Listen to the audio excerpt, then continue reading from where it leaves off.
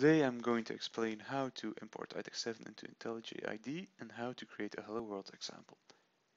So we started up IntelliJ and we're going to create a new project.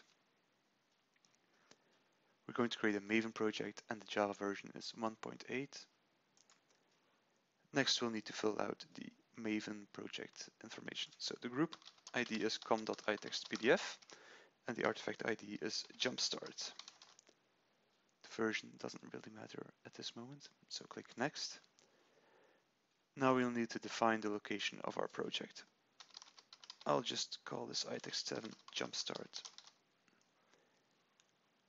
Finish up and let IntelliJ create the project. Okay, get the tip of the day out of the way and enable auto import for the Maven projects.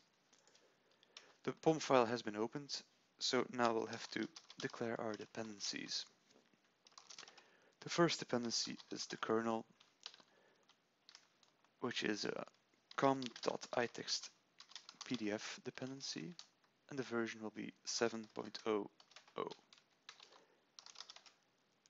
The next dependency is layout, which is also a com.itext PDF dependency, and the version once again 700.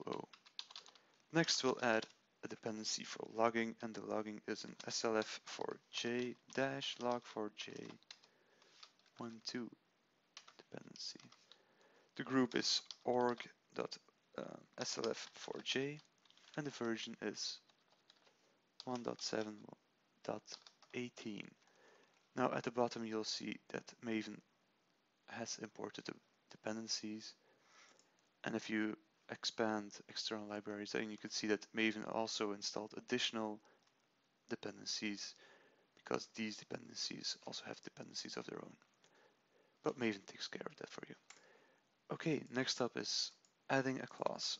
We'll add a new class file in the com.itextpdf.jumpstart package and it's called hello world.